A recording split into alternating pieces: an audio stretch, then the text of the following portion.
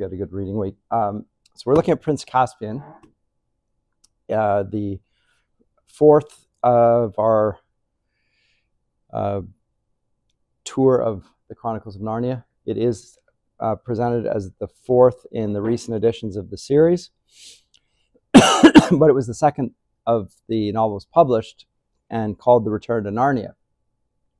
So the I put this up here because of the subtitle as much as anything. Uh, called A Story for Children. Uh, so very specifically, unlike his science fiction trilogy and other works, this really is uh, written for children and uh, intended for it. And it's sequenced according to an internal chronology in the books. Uh, and as it suggests, it constitutes a return to Narnia. Now, so we're looking at it as the fourth in the series. We looked at uh, a magician, the magician's nephew, uh, Lion, the Witch, and the Wardrobe, Horse and His Boy. Now we'll do Caspian. Next time we'll do Voyage of the Dawn Treader, Silver Chair, Last Battle. Uh, that's how they are presented within the internal chronology, not published that way. But this is the book in which he does something a little different than any of the others. This tale is dominated by men. There are magical beings, but by and large, it's the world of men that dominates this. And it is only one year later in terms of the chronology in England. So the Pevensie children are a, a year older, uh, back at school uh, when this adventure happens. And um, actually, they're not back at school, but they, they're a year older. And they're brought back into Narnia, but Narnia, the Narnia they're brought back into, is 1300 years later. So the discrepancy of time there is something that we're now acquainted with. Um, and uh, again, if it's the second published novel, the first being The Lion, the Witch, and the Wardrobe, you see a, a significant lag there. The, the children are a year older, and that will have some effect because we'll see the way in which the children um, greet Aslan or refuse to be able to see him or have struggles with seeing him is something to do with their age. and that's going to become a theme that he will build on uh, over the course of time. By the time he gets to the last battle, Susan no longer is interested in Aslan. That's not here, but we can see already that the with age there is a uh, a receptivity to this realm of Narnia, or with age there's a lack of receptivity to some degree. And that's a theme that he's going to build upon and relate to some degree to a uh, the ability of children to receive things uh, and understand them and live in a world uh, of their own imagination. So it's a very romantic theme in some ways, which is why Lewis and Tolkien are often called Christian romantics. I, tend to take issue with that for other reasons, but I understand why people are saying that. They're talking about the innocence of youth and their ability to receive truths that contradict the accepted norms of adulthood. And here in this world of Prince Caspian, we have adults that don't believe the old tales of Narnia. They're, they're, they've passed into myth and legend, and nobody believes them anymore. They're the subject of mockery. And so Lewis is doing something different with this tale than he was in the previous. Here he's dealing with um, something like Jack Lewis before he converted, where he loved the old myths and loved the old stories, but thought that they were lies breathed through silver, basically. They're not, I love them, but they're not true. And that's the adult, mature 20th century perspective on these sorts of stories. And so when he writes this to some degree, he's, he's speaking to that adult world of his contemporaries that regards all myths as really being at some remove from truth, if not altogether uh, contradicting the adult norms and rules of what constitutes uh, the real world. And yet he wants to not only present something alternative to it, not only for children, he is going to see to some degree be involved in what he sketches out, and I encourage you to read this, although I haven't put it until the end of the course. His little essay, The Weight of Glory, talks about the need to uh, cast a spell. And one way you could see this, these Chronicles of Narnia, is in casting a spell and weaving a spell, um, presenting a a fictional world uh, for children to believe in and love and get lost in, um, and yet it's not for adults. And and we're not to make it's just entertainment. And I think um, it's clear from what you read in Lewis that first of all he doesn't believe that that's true, and even though this is directed at children, uh, I think he has a greater purpose in mind than simply having children to read it. He enjoys reading this sort of literature himself, and uh, there's something being said that's very true for children that is equally true for adults. So there are two sides to the myth making or the spell casting in this. And the one of them is sort of counterintuitive, and it's that he thinks that the world of men that he describes the Telmarines living under is under a spell. It's already under a spell. It's not been disenchanted. In the Christian world right now, there's a lot of talk about the, re, uh, the need to re enchant the world after the Enlightenment is disenchanted, it has abolished all ritual and myth and legend and the significance of the Tao and so forth, and the idea that the whole cosmos is the work of God and there's something supernatural in the midst of the natural, and we need to recover that. But and Lewis firmly believes in that, and both Lewis and Tolkien present that. But if you read The Weight of Glory, he actually says that the most powerful spells are often those that break enchantments not just cast them, but break them. And I think that's what's going on, and that's that's the intent here. I don't know if it's an apologetic intent, it's but a, a an authorial intent here is to break the spell of atheistic materialism and reductionism. He wants to break that spell because he thinks it is a spell. It's propaganda, uh, and it's connected to education. The reduction of what we con- what constitutes human learning and, and education and higher learning. These are all connected. And that's part of why I began the whole uh, lecture series by looking at the discarded image. I wanted to show something of the richness of that image, which he's trying to recapture in his own works. and it's not that he wants us to believe in that world or live in that world because he doesn't believe that it's true either as it was the, as it was then constituted it's not scientifically verifiable, much of what was held. And yet, there's, there's also something fictional about what we regard as scientifically true in our day, and he's trying to get us to see the fact that, if you want to use the language, worldviews are provisional, and to some degree, they depend on casting a spell for people to find them plausible. And we believe that materialism is plausible. When I say we, Lewis does not, maybe we don't either, but our contemporaries do. They're reductionist materialists. They think that a good biological theory is simply biochemical. You know, the, the, the, what R- Richard Dawkins calls the selfish gene in that book, that uh, to understand life, we just need to understand it in its material chemical complexity, and that will explain the variety of life forms that we see around us. But it's all it all can be reduced to material. And so that even in the realm of psychology, the most reductionist forms regard psychology to be a study of brain chemistry.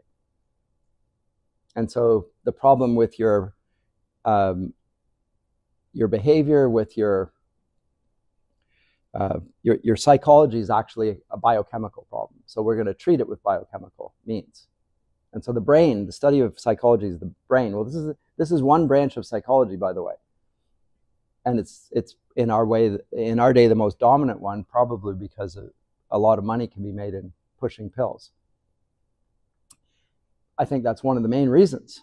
It's not that there's not there's so for Christians on this, I don't want to get off topic on this, but there's no reason why a Christian shouldn't think that biochemistry has something to do with it because we are physical beings. Biochemistry is a part of our makeup.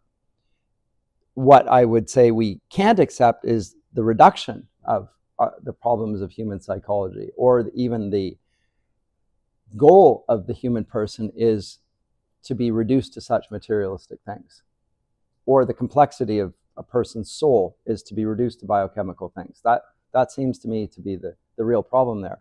It's sort of like alchemy, what Lewis said about alchemy, or even astro- uh, astrology.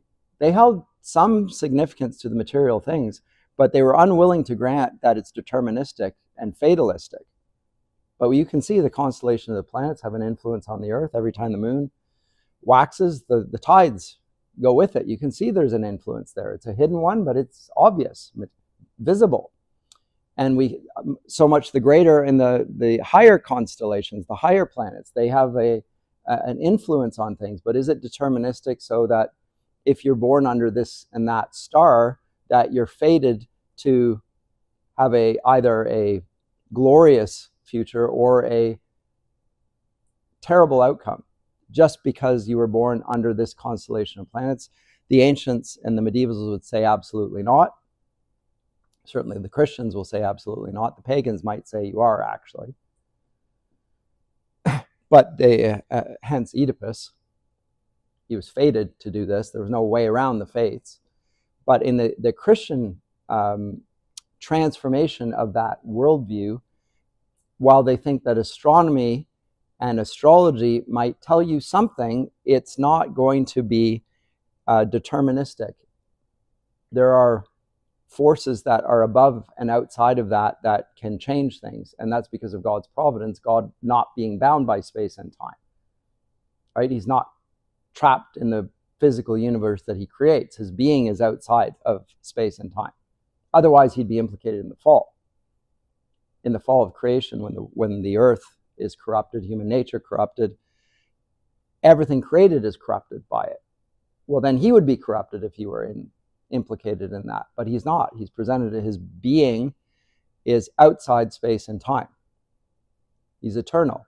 He's not finite. Whereas everything that we see, however vast it is, is finite in some way. Um, and, and, so we mustn't see it in, in that way. But Lewis is trying to push back against the spell of modernity for lack of a better word, that wants to reduce everything to the, let's say, adult or scientific way of looking at life. So that's what I think he's confronting here in the Telmarines. This is a people who have banished myth and even the telling of the myths. They're extremely hostile to it. You might want to see a corollary uh, in Tennyson's Lady of Shalott, which I read with you in first year if you were with me. There's something like that going on. It's the 19th century belief in progress, which is also tied to a reductionist, materialistic worldview. And that characterizes the Telmarines. And interestingly, um, our four protagonists from the lion and the witch and the wardrobe are brought into this world 1300 years after they were last there and magically whisk, whisked away from a British railway station uh, to a beach by Ru- Ru- Old and Ruined Castle. How do they get there? Why are they there? The first time they did it of their own volition by going through the wardrobe, which we know from the first novel was, was constructed out of a tree that was in the garden. It was cut down and it was made into this magical wardrobe. That's not how they get there this time. So Lewis is already introducing, if this is the second novel he's written, it's the fourth we're looking at, and it's the fourth in the series, that there are many ways into this other world of Narnia. And this one is not through a portal, it's through a call from another world. There's a, been a cry from Narnia for the for help and they've been called as the means of assistance. So they find themselves being pulled, and there, are films of this now, but they feel they, and they can't resist it. They're not intentionally going into something that they're oblivious to. They know where they're going. They have a sense, oh, oh, I'm getting dragged there again. They end up there. They are not sure where it is because it doesn't look anything like it once did. Well, they find themselves in an old and ruined castle and they don't even know that it's Cair Paravel where they once reigned as kings and queens of Narnia. They don't they don't even recognize it because it's decrepit, it's in ruins. And it takes them a while to figure out that it is, in fact, that place.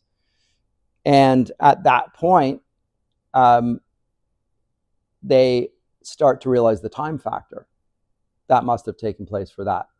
And then, well, what what is going? So it's a mystery to them. It's a mystery to us as well. It's part of what makes the story compelling. Is there's a, this mysterious sense of nostalgia, the returning back to this place that they loved, where they were kings and queens, unlike back in England, where they were school kids and no one regards them very highly, although they go back as better children than they came in. And that's an interesting aspect of the, the Tao there. Remember, the land of Narnia is the land where the Tao rules, where everybody accepts it, and virtue is rewarded and vice is punished. It's a very black and white world, unlike the world where they are living, where in the school system they are denying that the Tao even exists, hence the abolition of man, right? The first chapter. That's the world they've left, where, where virtue is, in a sense, not just disregarded, but to some degree punished. And, and vice is allowed to flourish because effectively they see no real difference between virtue and vice. But when they come back from Narnia, they're better children because now they realize that there is good and evil at work, not just in that world, but in them, and therefore in the world that they are going back to. So again, Lewis is giving us a sort of a um, active parable about how stories of places of virtue and vice can transform children to be better people. So read these old stories, believe that in the truth of the battle against evil, and you will be a valiant warrior against evil in your own world, even though they deny it, because they're under a spell. The spell that denies that virtue is a real thing. But that is a sort of a spell. It's a very powerful spell to say that good and evil aren't real. The devil doesn't exist. God doesn't exist. What a spell that is.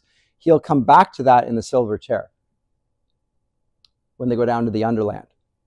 Right? There's a spell going on there. He sits in the silver. I'll, I'll get to that when in a couple of classes when we look at the silver chair. But that that same um, casting of a spell that makes people believe what's true is false and what's false is true, and what's evil is good and what's good is evil. That sort of spell which characterizes the 20th century and the 21st for that matter. So they they go back to Cair Paravel, not realizing that that's where they are at first, and they what once they do, they go down to a treasure vault, and there they discover a couple couple of items.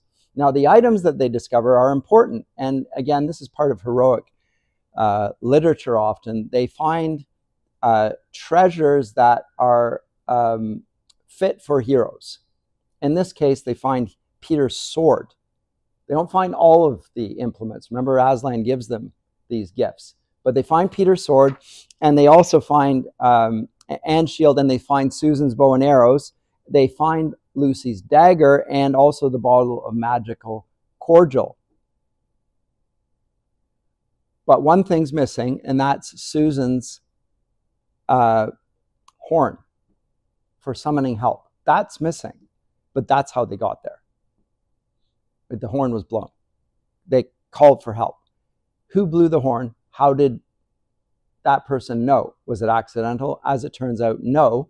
It was an old wise teacher who believed the old stories about Narnia.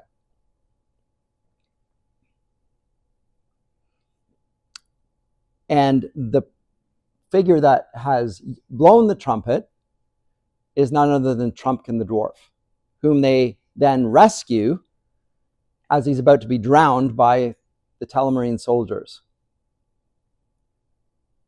And he then gives this a sort of, so it's a sort of an epic narrative in the sense that they begin in the middle of things. Like they're right at the point where the figure that believes in the truth of the kings and queens of Narnia has blown the horn that will call them back, which is a crazy thing to do, to believe that, that that's going to happen. But he really believes there's some sort of magic in that horn, and uh, he's about to perish for having done this. And they magically appear at that point and rescue him. And one of the arrows uh, is shot, and they, you know, hit them in the head from a great distance. Don't have, even have to kill them. And when they save them, then we start getting the story. And it's it's at that point something like Odysseus recounting the story of how he got to that point. He'll tell his Odyssey that brought them to that point where uh, they get effectively a potted history of Narnia uh, from the time that they were there, reigning as kings and queens, to the present. So there's 1,300 years of Narnian history, uh, during which the Telmarines had conquered Narnia. And under their rule, we now have a king and a queen, King Miraz and his wife, Queen Prunas, Pruna Prismia, quite the name. And he had usurped his brother, uh, brother's throne by killing him. And that king's name was none other than King Caspian the Ninth, father of King Prince Caspian, whom we will meet after which the book is named. But we have a long line of kings then. And now we have the pretty much an ancient story of a unlawful ruler usurping a lawful ruler, a sort of a Shakespearean theme pulled in here. Then lot, lots of other precedents as well, but Shakespeare loves these sorts of things.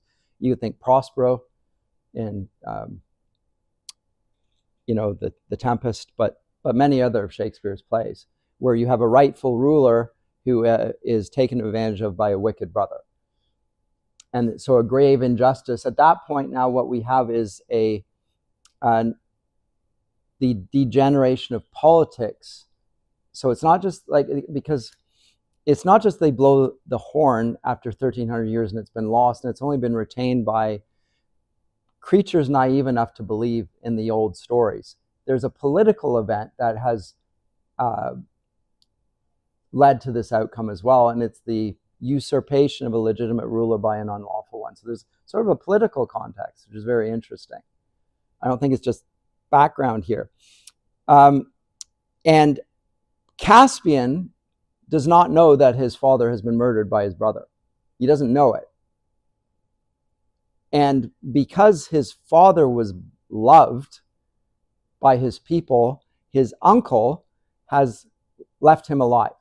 Maybe he's Hamlet. He's the Prince of Denmark, the equivalent.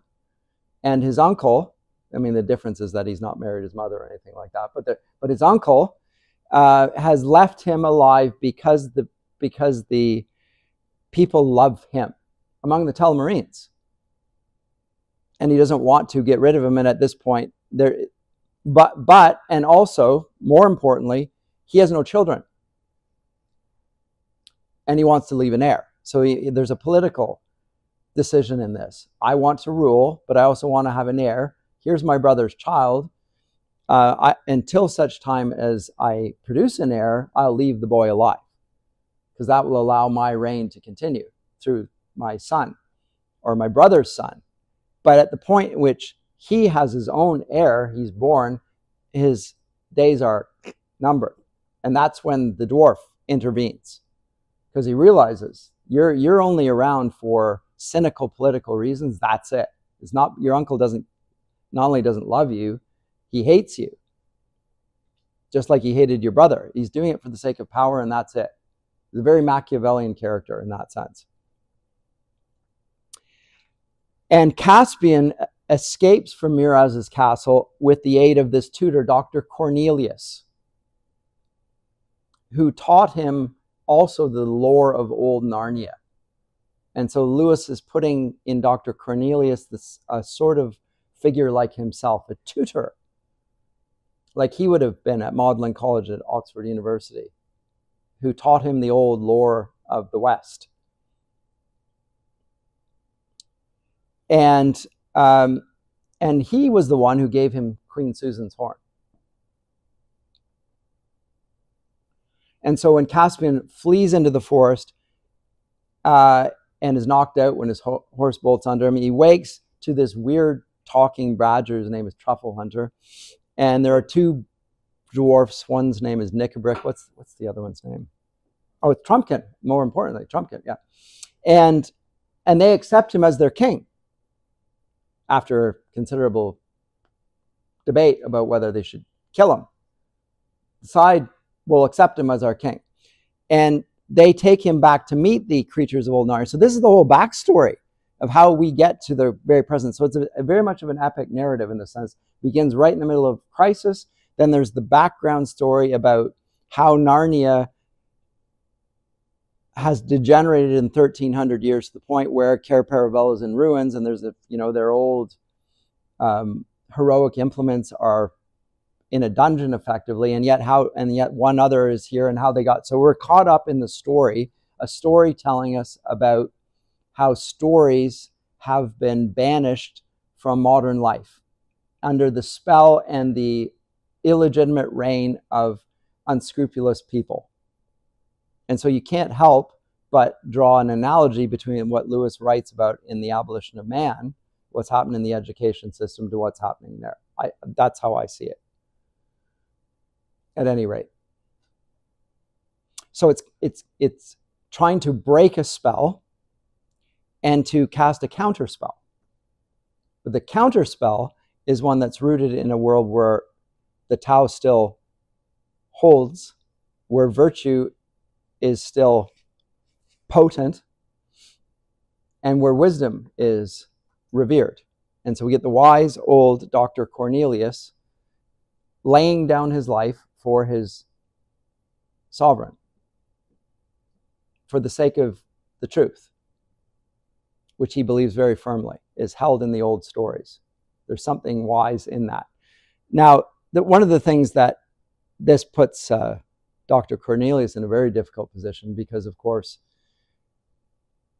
he's done what is forbidden, which is to tell the stories.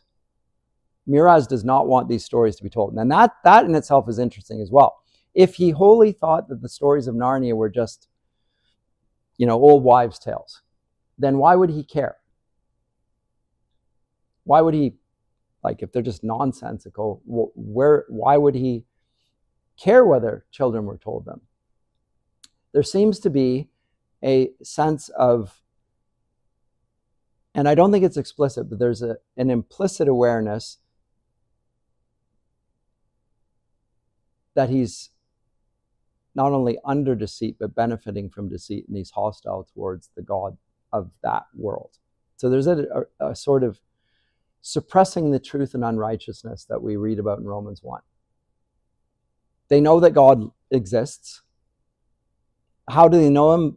That he exists by, by virtue of the fact that they can see his power, his majesty at work in the cosmos, but they suppress the truth and unrighteousness. So that's part of the thing that's not a spell. They, they are complicit in their own deceit. And not only that, they don't want to hear the truth. And that, in fact, they're threatened by the truth because it, the truth is that King Miraz is not the true king. And it's not even the true kings of Narnia of old that are the true kings. The high king, uh, Aslan, or the emperor over the sea, that's the king. They reign under his sufferance he, he gives them legitimacy, but he's the only true one true king. And Miraz is threatened by anyone who's going to suggest that he's not all powerful. That's what he can't. He doesn't like the idea that there is a, however implausible to him, a king other than himself. He won't tolerate that story to be told. So the badger and the dwarves, they take Caspian to many of the uh, creatures of old Narnia. And during a midnight council, Cornelius, who escapes, arrives and tells them that Miraz and uh, his army is coming and urges them to flee to Aslan's How in the great woods near Paravel. Okay, so we enter right in the middle of this story, and there's it's already uh, late in the story, not just 1300 years on, but in the particular event it's all going to happen very quickly because the armies are about to meet and the, and the armies of Narnia, which is now just a king and a few creatures that the Telmarines don't even believe exist, and now we're going to see are talking beasts to their great surprise. And then the Telmarines who are going to try and crush them. And there'll be a battle then that ensues. So again, it's Lewis presenting the same sort of narrative uh, that he addresses in The Abolition of Man and uh, in his fiction about a discarded image that he believes is not scientifically true, but has a different sort of truth to it, which still holds. Because, and if it doesn't, then there is no such thing as education. He says if you if you don't if you deny the Tao, you don't educate at all. It's just mere propaganda. And it must be. Because you're going to appeal to concepts like justice and goodness and beauty and truth, but you're going to think they have nothing to do with virtue. In which case, you're going to think that those words are culturally constructed for the purposes of you exercising power.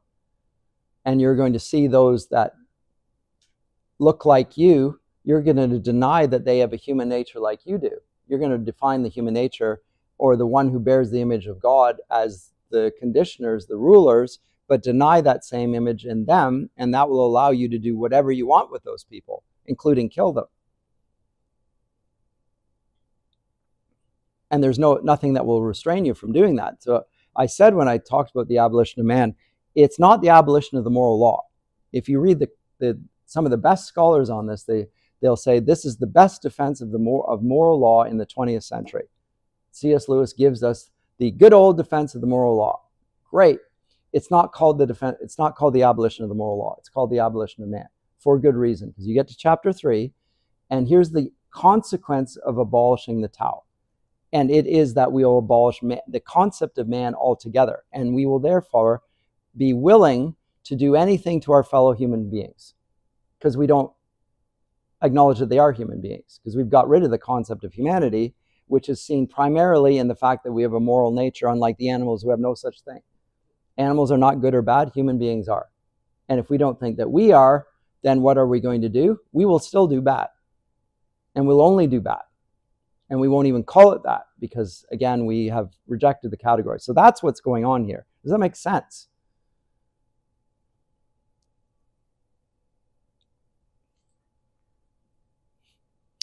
So they meet in a council, a war council, and in the second war council, they decide to blow the horn.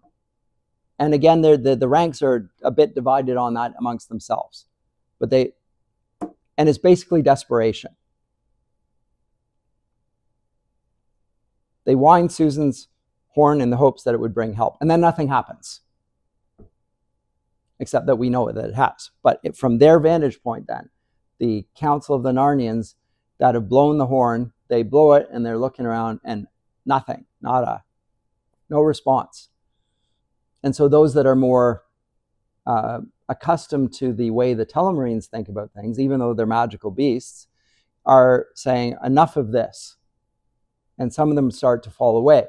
But as we know, the, the horn has worked, and what we are just waiting for is the two sides to meet, as in the four Pevensie children and the Narnians, and to work under King Caspian's banner.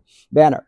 So Trumpkin and the Pevensies are working their way uh, towards Caspian, but getting there is a very difficult thing for them. This is the thing that becomes then interesting, and a, and a really a twist on the old story because it could have just been left off at this point.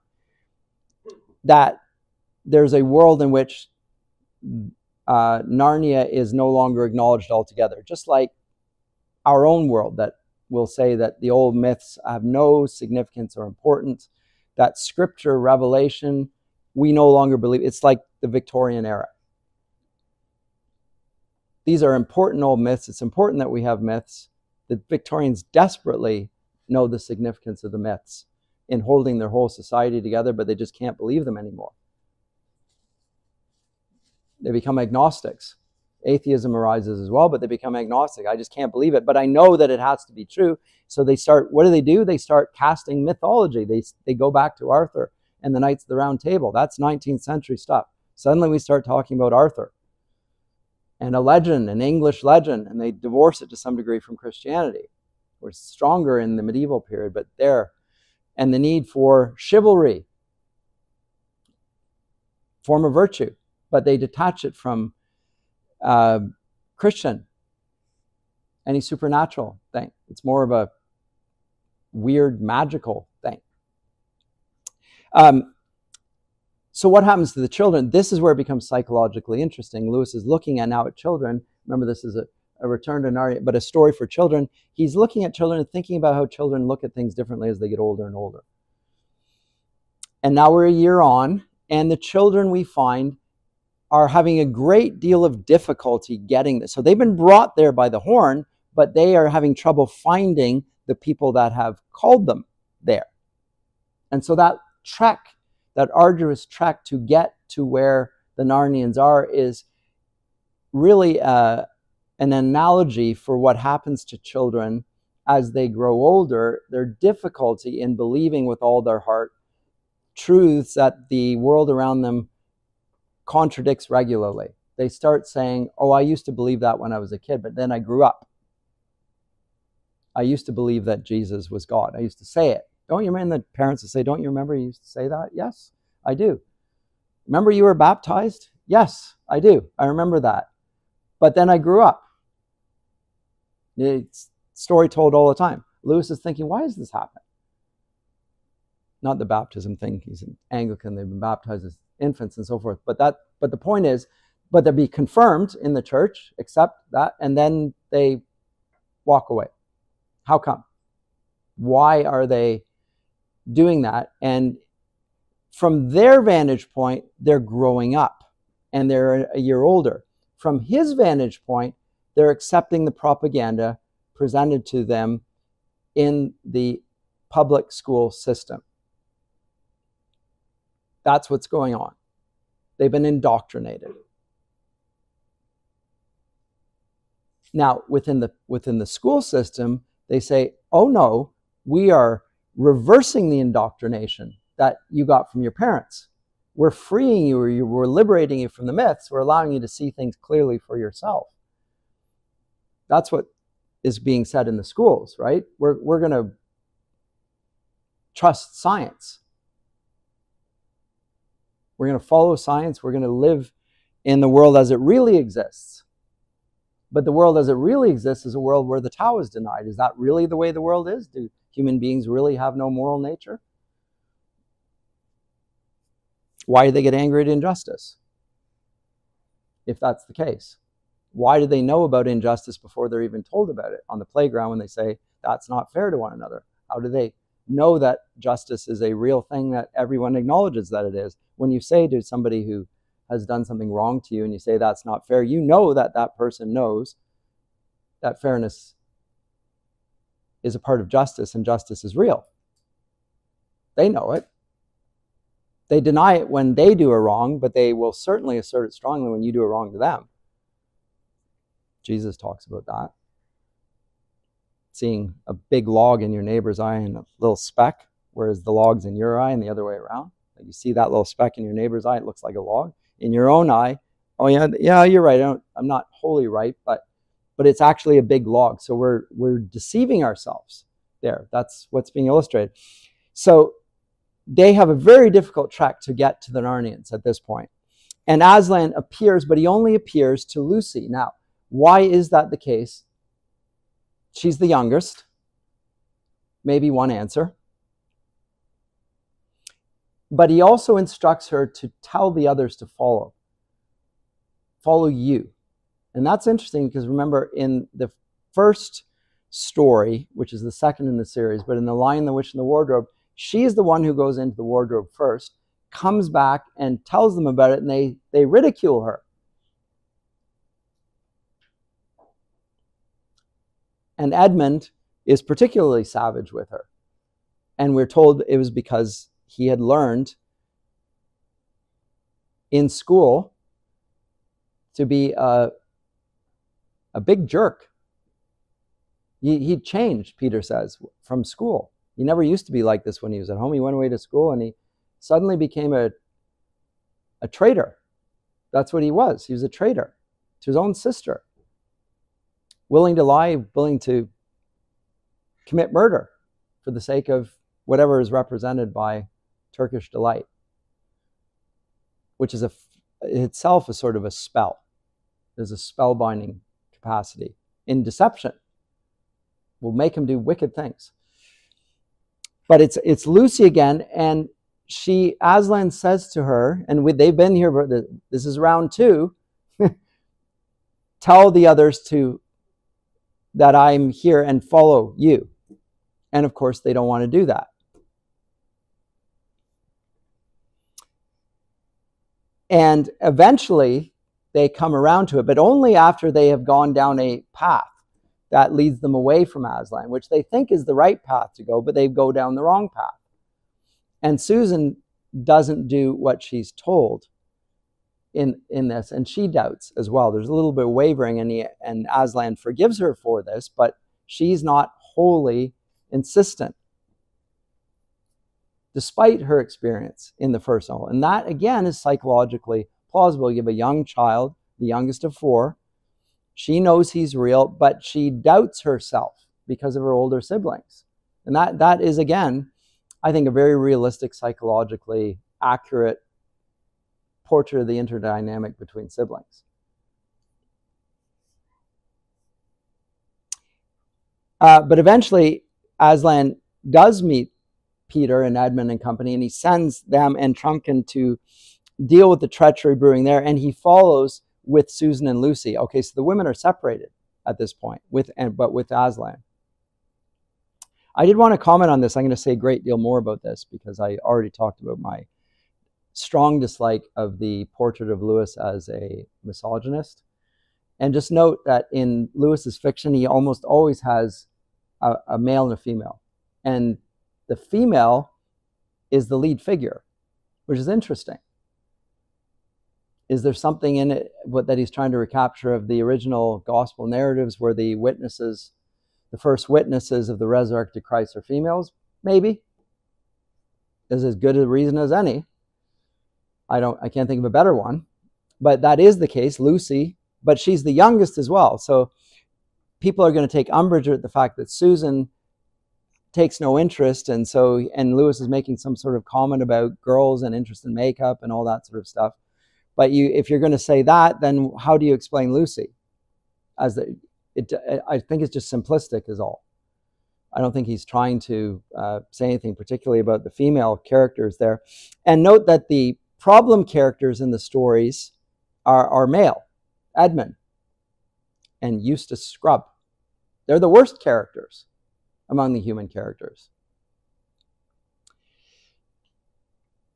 Um, and so, so Lucy seems to have a, a moral and a spiritual character that none of the others do. And she's the least of them, of the kings and queens of Narnia. And, and her, uh, even her magical implements seem relatively pathetic. She's got cordial and she has a little dagger. Peter's got a big sword and he's the high king, and he's got a shield. Susan's got a bow and arrows. Edmund, um, what's Edmund got? He wasn't there. That's right. Yep. But he's the valiant, despite that. But he's given no magical implements, which is also interesting. So he is still accounted one of the four kings and queens, but he does not have those trophies or favors of Aslan's grace. Um, so there's a separation of the four Pevensie children. The, the girls go with Aslan, Peter and Edmund go with Trumpkin, and they go to deal with a battle there. But they separate paths here. And when Peter, Edmund, and Trumpkin arrive, they drive out or kill the creatures that have been threatening Caspian at that point. That's the first act, is to liberate Caspian. And what then ensues is a great battle, because in order to deal with this, and this this seems to me almost a little bit implausible, but it did to Lewis as well. Peter challenges Miraz to single combat, and he accepts it. And it's sort of a, it's actually a very funny scene, how he gets goaded into it. And but interestingly, it shows something of the wickedness of the Telmarines. His own side wants to goad him into it because they want to get rid of him. So th- it's not that they love Miraz; they love evil and they love power to some degree. So that if if you are going to usurp the lawful king, don't accept those that have had your back up to this point to actually be interested in your reign. They simply want no reign, or they want their own reign, and they're willing to just wait and bide their time until such time as you can be disposed of. That's what every tyrant fears, by the way. So there's the problem. And every tyrant you'll see, historically speaking, every regime that begins by usurping a lawful king ends in tyranny because the tyrant has to kill everybody around him whom he perceives as a threat because he can't trust anyone. He knows it's true of him and he knows it's true of those that followed him. Those, these are not trustworthy people I have around me and you'll see it that it's part of the uh, ancient Near Eastern cultures that are based on that same sort of. Uh, you, you, see it in um, uh, what's his name, Herod. Killing, if you know anything about the history of Herod, killing his own family members. You'll also see it amongst the Caesars, killing their own children, whom they perceive as their greatest threats. That goes on all the time. Again, because if you deny legitimacy and God putting kings, lawful kings in place by your own actions, you have to take control of the situation. And every threat is there is going to bring you down. There's no justice in the universe. You've just broken it in your actions. So you will continue down that path. Macbeth is the great illustration of this. He keeps on killing every rival that he thinks is going to threaten his reign and he sees the enemies everywhere. And that's because they are everywhere, even in his own ranks. So, um, call for single combat, combat between Miraz and Peter, and the army of the victor in the duel would be considered the victor in the war. But of course, Miraz has no intention of having a fair fight. We're going to have the pretense of this and we're going to get rid of Peter in the process. so there's a treachery planned on his part. What he doesn't realize is the treachery in his own ranks. So if he should overcome him, fine. But if it looks like Miraz goes down, we'll make sure that it, it's a better outcome if we take Miraz out and then claim that it's the Narnians or something like that. And uh, Miraz is goaded to accept by Glozelle and so, Sopespian because they want him out of the way. So again, we get the cynical power politics of the court, uh, which Lewis sees as characteristic of men who rule without any fear of God and without any sense of honor, even though it's an, a shame and honor culture that they live in honor is not a real thing for them, it's a way of saving face. That's it. Because they, they think they're gods, so they have to act in a certain way, and you can be you can push people in accordance with that tool. But they're not worried about divine retribution for their actions. So when Miraz loses the combat, the two lords, Glozelle and Sopespian, declare the Narnians have cheated, and now the single combat's not going to decide it, and the Telmarines fall on the Narnians, and it looks like terrible things are going to ensue. Glozelle stabs Miraz in the back rather fittingly and kills him in the in the melee. Nobody sees what's happened, but he murders the king. And Aslan appears with Lucy and Susan, and none other than Bacchus and Silenus. This is bizarre at this point. Bacchus is back again. He, he was there in the first book as well, and Silenus, um, who rides on an ass, part of the um, Bacchanalia. Now, in the classical mythological tradition, it's associated, well, it's Bacchus is the god that is worshipped in tragedies. And it's accompanied by sexually lurid practices. And it involves the murder and um, and also the of Bacchus, and also his rebirth. So some see it as a sort of a type of Christ. And I think Lewis is reading it that way. He, he is a classical myth that has been Christianized in some ways. As I say, Tolkien hates this sort of thing. You're mixing classical myths up with all sorts of different stories. But as I said to you last time, um, this is typical Protestant allegorical imagination of the 16th century that we'll find in Spenser and Sidney. They're very happy to mix, mix Greek gods in with Christian uh, providence and virtues and understand that the Greek gods referred to are not real gods, they are a symbol of something. In this case, of love, sexual love. Now, rightly ordered. So that Bacchus and Silenus come in, and with their help, the woods are brought back to life. So not only we have the mythological beast, but the woods are back to life, like Macbeth, Dunsinane Wood. They come out then and the myths about the, the woods coming alive, which we see picked up in Tolkien as well, uh, is brought here. And the gods and the awakened trees turn the tide of the battle and they send the Telmarines fleeing, just like we see in uh, the, the Two Towers, right? And in Macbeth. And they get trapped, the Telmarines, uh, at the Great River, where Bacchus has destroyed the bridge and they surrender at that point. Okay. So the conclusion of the story then becomes interesting. So now we have a human army who has unlawfully usurped the rightful king of Narnia. The Telmarines are a different race. Where have they come from? Different place, actually. So how did they get there? Into Narnia. They weren't there, but they got there. How did they get there? Here's where we find out. Aslan gives them a choice. You can stay here in Narnia, but you will do so under Caspian's reign, or you can return to Earth, their original home. Earth, where the Pevensie kids are from. You can go back there.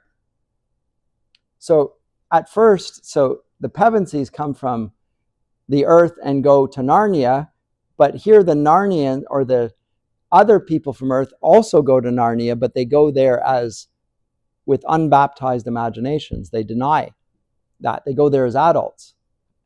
How did they get there? Well, that's another story. He tells it as well. Now, one of them wants to go back. Aslan creates a magical door at that point. And the Pevensies go through as well. And the reason they do so is because they're told to do so. But they do so largely to, to uh, persuade the Telmarines that they're, on, they're not all going to die. You know, you go through here and it's some sort of a trick to betray them. We'll find the same sort of dynamic in the last battle, where people are fearful and distrustful because of their own motivations, where they, they, they would use this sort of ruse to get people to get rid of them. Um, but the uh, Pevensies go through, and Peter and Susan tell, and this is interesting, reveal to Edmund and Lucy that they're too old to return to Narnia again. They, they too, the eldest too. So we're not going to see them again. Peter and Susan don't come back. It's only in the last battle, so the seventh iteration, that we'll see them again, but we, we will not see them in the next installment, which is the Voyage of the Dawn Treader, but we will see the two younger ones, and now and then we'll get a third, a cousin, a horrible, irritating individual named Eustace Scrubb, and he deserved the name apparently. Um, and but then when they go back, they find themselves back at the railway station again. So it just returns to the, it's like a frame narrative. Begin in the railway station, end up at the railway station. I guess it's um, what's her name? Uh, the Harry Potter probably uses this in her. What's her name again? Rowling. Yeah, J.K. Rowling probably plucks that from there. A little bit. I'm guessing.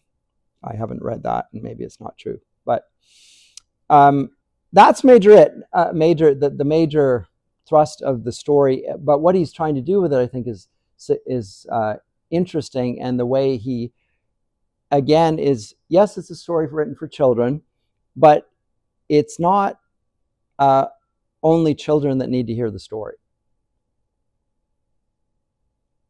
because the themes of the story are the legitimacy and the true um, virtue of courage and chivalry. They have a potency. Uh, the way Lewis describes uh, the theme of the story, he calls it a return or a restoration of the true religion after a corruption.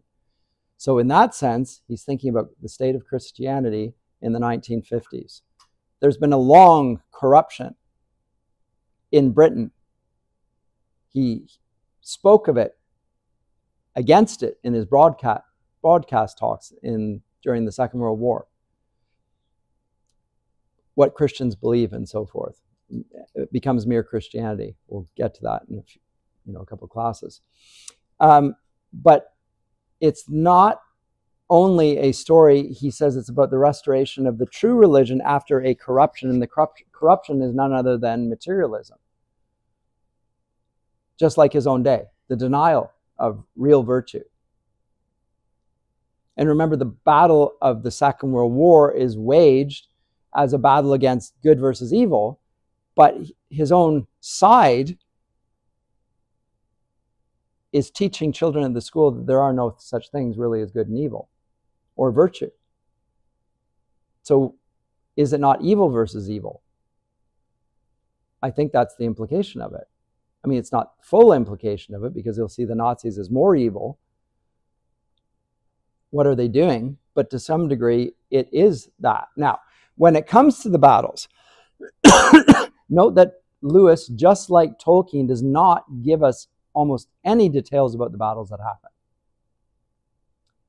There's no swords going, passing through, descriptions of it through the other side. There's no arrows going through people's eyes. There's not nothing that we get in the films. The films, there's actually real battle scenes, just like in Tolkien. They show these grand battles in the both both authors' fiction. We get the encounter of good versus evil, but evil, when it is actually confronted, seems almost unreal.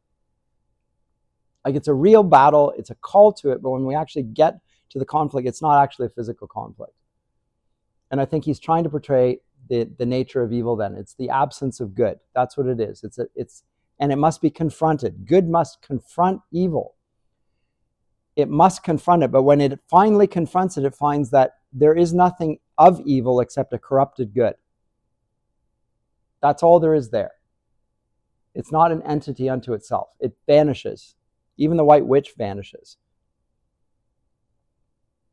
But the confrontation is what you're called to do.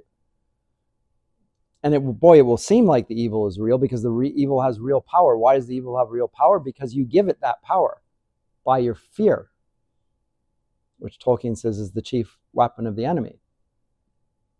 Fear, not courage. Well, this is a story of courage and chivalry. It's a call to battle for children. Again, not against flesh and blood, but against falsehood, propaganda. As, it, as he says, the story, it's about the restoration of the true religion after corruption. And uh, some have noted that it's a little bit like the Norman conquest of England, that like the 1300 years, it's something, you know, they're the Anglo Saxons there, the Normans come in, the Normans then are the Telmarines. And then in the end, they're going to live together more or less peaceably. The Normans will live alongside the Anglo Saxon, they'll become the English people. just like the Telmarines and the Narnians will eventually. So there's a little bit of that there. I can see that. I think that's a, a stretch, and it's also unnecessary and really insignificant. I don't think that's of much interest to Lewis. He, he might think of it, but I don't think it's a major theme in the story. Uh, comments or questions? I have left some time for once, but I said what I wanted to say here, really, about this great book. So I think it's really good, very artfully told. It, it works really well. Yes.